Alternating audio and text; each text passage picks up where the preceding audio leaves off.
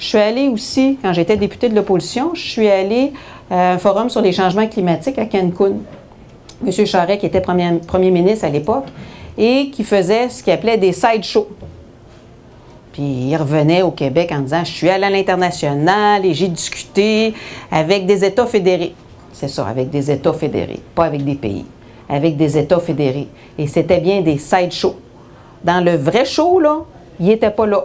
Et c'était M. Harper qui était là et qui gagnait année après année des prix fossiles.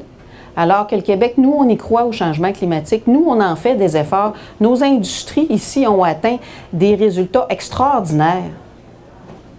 Mais jamais le Canada fait la promotion de ça à l'international. Jamais le Canada va faire la promotion de nos valeurs environnementales à l'international. Valeurs environnementales qui se traduisent ensuite en développement économique. Non, non, jamais le gouvernement fédéral va aller faire cette promotion-là.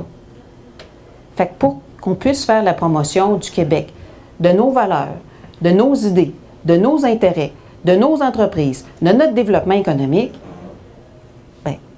va falloir être un pays. C'est comme ça que ça marche. C'est les pays qui on voit dans les forums internationaux. Ce pas les États fédérés, c'est les pays. Quand on veut négocier un accord, là, comme l'accord avec l'Europe, l'accord de libre-échange avec l'Europe, c'est qui qui négociait? C'est pas le Québec qui négociait, là. on avait bien la misère à avoir des informations. C'est le Canada qui négociait.